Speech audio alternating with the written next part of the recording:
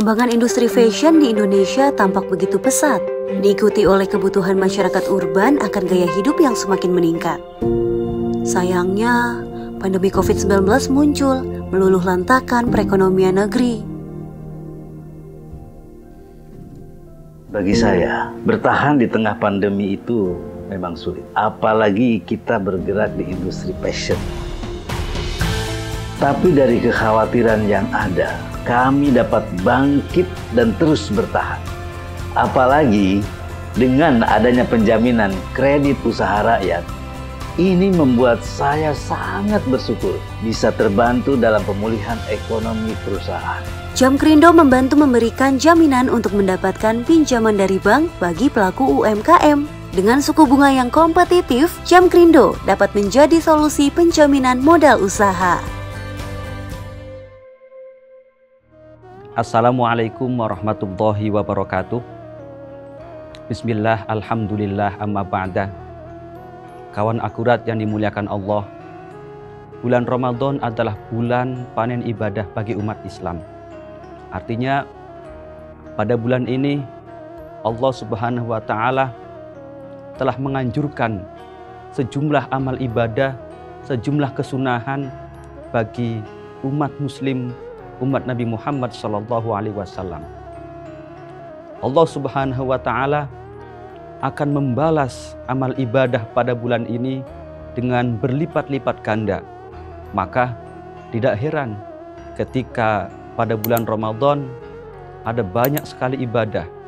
Mulai dari tadarus Al-Quran, ada yang bersedekah takjil ketika menjelang maghrib, ada yang rajin sholat jamaah, beriktikaf, kemudian juga sholat taraweh dan lain sebagainya.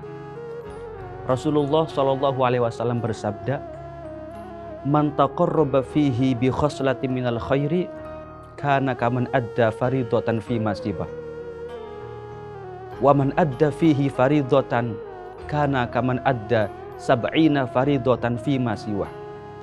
Siapa yang mengamalkan amal sunnah satu amal sunnah pada bulan Ramadan, Allah akan membalasnya dengan pahala sebesar satu kali ibadah fardu. Dan barang siapa melakukan amal fardu pada bulan Ramadan, Allah akan membalasnya sebanyak 70 kali lipat ibadah fardu. Hadis ini menjadi motivasi bagi umat Islam untuk berlomba-lomba, untuk berkompetisi, beribadah, berburu pahala pada bulan Ramadan.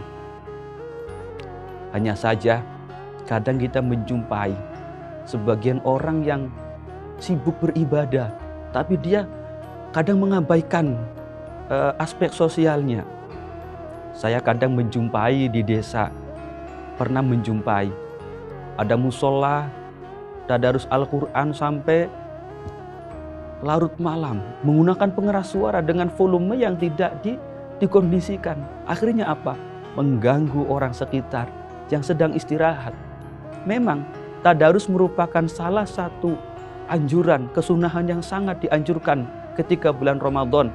Makanya kemudian Ramadan disebut sebagai Syahrul Quran, bulan Al-Quran. Tapi kalau ibadah ini, tadarus ini tidak dikelola dengan baik, kayak misalkan menggunakan pengeras suara, di tengah malam hari ketika orang beristirahat dengan volume yang tidak dikendalikan ini akan mengganggu orang lain, akan mengganggu masyarakat. Makanya tadarus boleh, harus disunahkan, tapi harus dikondisikan penggunaan pengeras suaranya. Artinya apa? Ibadah harus tetap memperhatikan lingkungan sekitar, memperhatikan aspek sosial.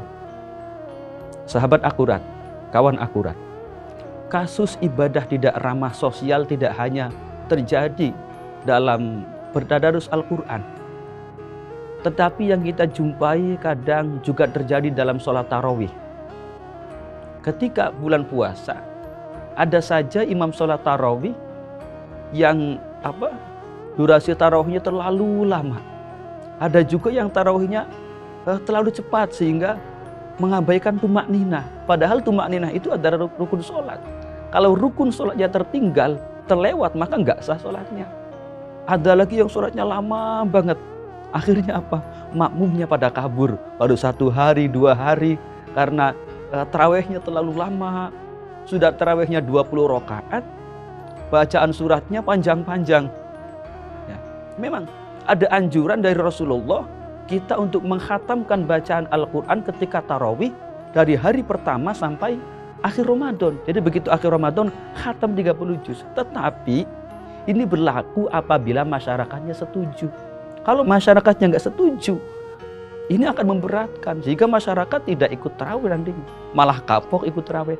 Oleh karena itu pernah ada kisah ada orang mengadu kepada Rasulullah Shallallahu Alaihi Wasallam, ya Rasulullah, mulai sekarang nih, mulai sekarang Rasulullah, saya nggak mau ikut lagi sholat jamaah.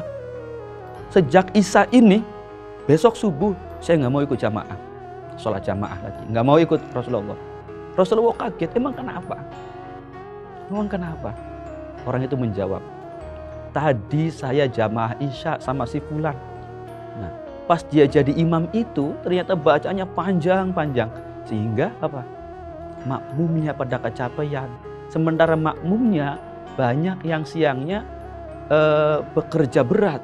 Akhirnya begitu malam sudah capek, pas ikut jamaah isya imamnya durasinya panjang, dia kapok, katanya saya nggak mau ikut sholat jamaah lagi ya Rasulullah. Akhirnya Rasulullah marah. Dalam riwayat disebutkan, "Fama itu Rasulullah sallallahu alaihi wasallam qattu asyadda khodoban fi mau'izah." Saya tidak pernah melihat Rasulullah semarah ini, katanya. Bukan marah kepada orang yang nggak mau jamaah tadi, tapi marah kepada imam yang tidak bijak tadi. Kata Rasulullah, setelah setelah kejadian itu Rasulullah kemudian mengumumkan kepada masyarakat, "Ya ayuhan nas, inna minkum munafirin. Fa ayyukum shalla bin nas falyujis fa inna fihim al-kabir wad dhaif wa zal hajah." Wahai sekalian manusia kata Rasulullah, gara-gara ulah satu orang ada umatku yang tidak mau lagi ikut sholat berjamaah Nabi sampai seperti itu. Mulai sekarang kata Nabi, ini warning kata Nabi. Siapa pun yang menjadi imam sholat, tolong fal yujis, bersikaplah bijak. Kalau melihat makmumnya tidak kuat sholat lama, karena banyak orang yang sudah capek habis bekerja, kata Rasulullah, fa inna fihim al kabir wa dhaif wa Karena kita nggak tahu di antara makmum kita itu barangkali ada al kabir, orang yang sudah tua renta, orang yang sudah lemah, atau orang yang punya kepentingan yang harus diselesaikan setelah setelah ini. Ya, baik itu saja. Mari jadikan momen Ramadan sebagai event untuk berburu pahala, berlomba-lomba beribadah, tetapi ingat, ibadah yang kita lakukan jangan sampai mengganggu kenyamanan sosial. Mari jadikan Ramadan sebagai momen untuk menempa diri sebagai pribadi yang soleh secara ritual dan soleh secara sosial. Sekian, Allahul muwafiq ila aqwamit Wassalamualaikum warahmatullahi wabarakatuh.